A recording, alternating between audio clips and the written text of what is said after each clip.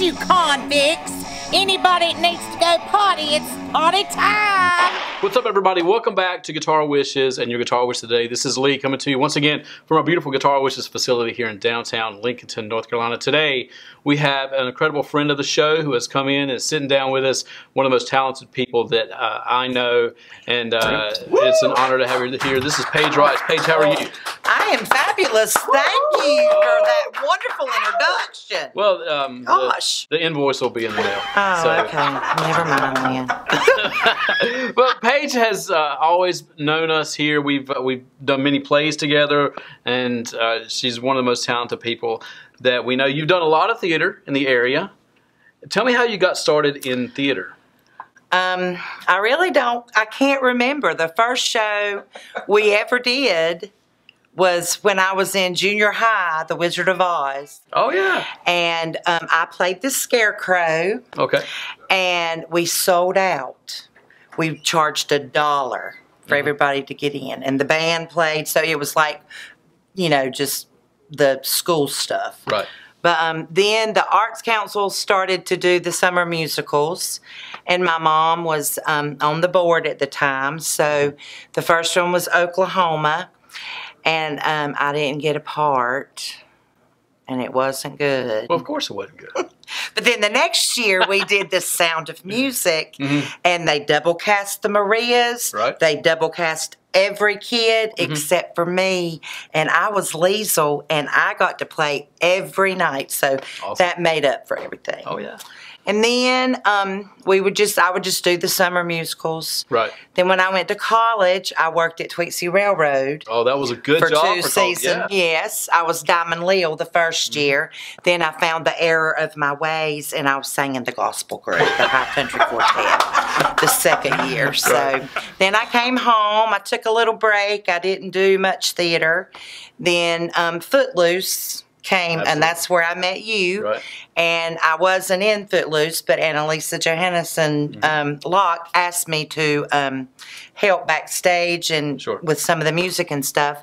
And so, you know, when you get bit by that bug, you can't help it. Absolutely, and what I loved about it uh, and the experiences I've had, and I know you you feel the same way, is you build that community of friends, and it's almost like a theater or a play family. Mm-hmm. And when the play's over, there's almost a sadness Oh, yeah. that it's over, and so you want to move on to the next one. Hopefully, some of the the people from your past performances will be in that one, and that family just builds. and just grows and grows. Absolutely, and so you're you're constantly chasing that high of, exactly. of uh, the past performance, always trying to outdo the past performance. And uh, most of the things I've ever seen you in, I've always seen you exceed your past performances. Even when we did Rock of Ages together, That was my favorite show. I would Mm-hmm. I would do Rock of Ages every day of my life. that was a great show. I, that just listen. I went to see it in Charlotte. Yeah, We could have got up there. I'm sure we could. That's right. Yeah, comment down below if you want to see us uh, sing some of those songs. We Ow! do that. Hey, watch out. Uh oh. but uh, and, and uh, we're in the middle of doing a sizzle for a production company, and uh, for some things that are on the horizon, and uh, you're a part of that too. And again, it's bringing all of these family members, theater family, musical family, together for another quote unquote performance. It's a really exciting time. It is exciting time. What's on the horizon? Any plays on the horizon? Do you see yourself doing anything? Taking a little break. I because I did. We did Rock of Ages. Right. Then we went into Sanders uh, Smoke on the Mountain. Right. No, Best Little. Best- Chicken Ranch in Texas. right. I guess I can say Best Yeah. Little Whorehouse. Yeah, I don't know. of course. And I was Miss Mona, of course. That was know. a great play. Well, that was uh, that was the first lead role I'd ever had, and I'm telling you, it was hard Yeah. because um, I was out on stage just about every throughout the whole show, and Mm-hmm. I had to work because you know I'm older now and fatter now, Oh. and uh, you had to work a little bit harder to get that. But You're probably at the point that I am, and you're looking for that certain role. I, well, you know, the funny thing is, I think I found it. And it was Justice in Rock of Ages. there is, even though I loved Miss Mona, Right. There was just something, Justice just had enough that I was out there on stage. I got, I was thrilled with that, but I didn't have to work that hard. I mean, you know, it was just, it was just the role of a lifetime, It- I it thought. uh, for me also. So, That- was well, great- you were Stacee Jaxx. Yeah, it was a you great- had a big role. It was a great show. Well, it was a great cast. Great cast, great direction. It, it was all around the perfect show, the perfect storm for me too.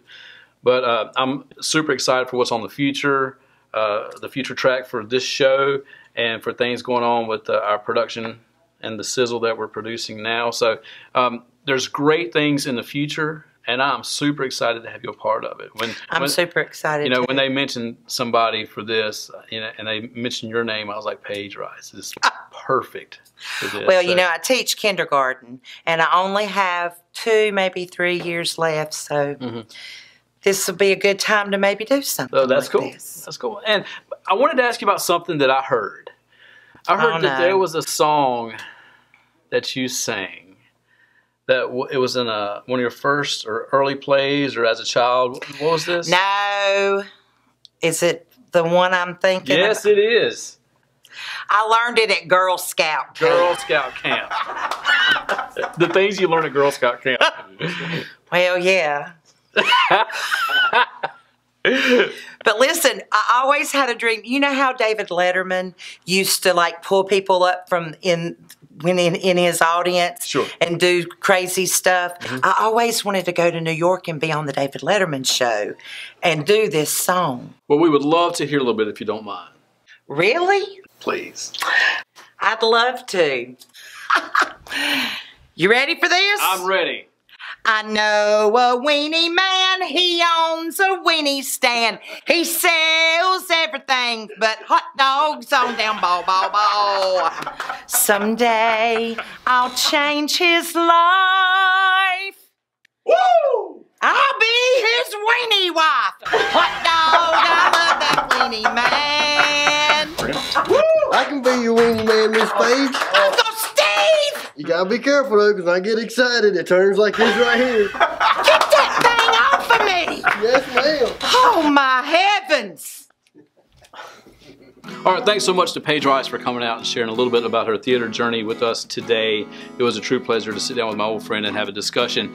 And if you want to know more about anything you've seen on our channel, please let us know here at guitarwishes.com. Check out our Facebook site, of course. And thanks to all of everybody who has uh, liked and subscribed to our YouTube channel. Be sure and like and subscribe to that if you aren't- haven't already done so. And smash that notification bell so you're informed of new content uploaded daily. Something really cool has happened, uh, and it looks like that this coming Friday, uh, myself and Roger are going to have an incredible experience to go down and do a couple of interviews in Charlotte at PNC Music Pavilion with Jason Bonham and his guitar player Jimmy. It's going to be an incredible night, and if things go well, you'll be seeing some of those interviews next week right here on our YouTube channel. So if Hot dogs, hot dogs. Get well. Hey there, cousin Lee. How you doing? What's up?